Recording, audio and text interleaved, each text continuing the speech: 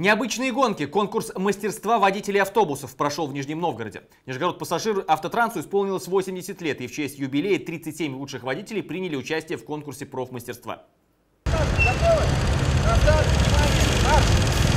Мне кажется, это вполне интересная работа такая. Ну, понравилось мне. Интересно просто посоревноваться с другими водителями. Лично для меня просто посмотреть, что из меня получилось. Какой результат был в прошлом году, какой результат в этом году. Мастерство, во-первых. И самое главное, с нервами справиться, потому что волнение очень сильное. Программа, в принципе, одна и та же у нас в упражнения. Ну, участников больше становится с каждым годом.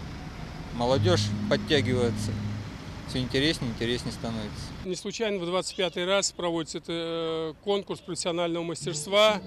Это, во-первых, дает какие, будем говорить, преимущества? Во-первых, профессиональное мастерство, оно всегда помогало э, в вопросах безопасности движения. На сегодняшний момент э, положительная тенденция по приему сотрудников, которые к нам приходят. Люди знают, что придет новая партия автобусов и с удовольствием приходят на работу.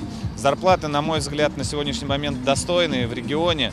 Зарплаты выплачиваются вовремя. Пассажир автотранс не только социально значимое э, предприятие, оно стратегическое, потому что ежедневно около 300 тысяч наших горожан пользуются услугами этого предприятия. В этом году э, по поручению главы города Нижний Новгород Владимира Александровича Панова с поддержкой правительства Нижегородской области э, утверждена э, закупка еще 200 новых э, автобусов и первые 56 э, должны поступить в ближайшее время до конца октября 2019 года.